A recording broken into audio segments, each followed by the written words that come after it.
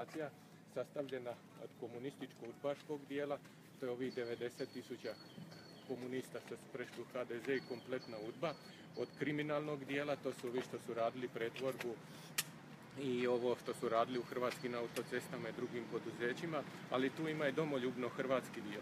Pa bi ja pozvao taj domoljubno hrvatski dio unutar HDZ-a da se suprostavi ovom što se planira raditi u županiji. Opet nisam čula ime. Čuješ, tužbe nećemo polako.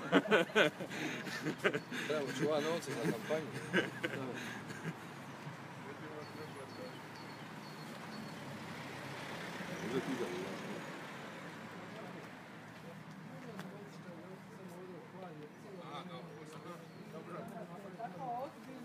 Ako vi hoćete, možemo mi ovdje, nije problem.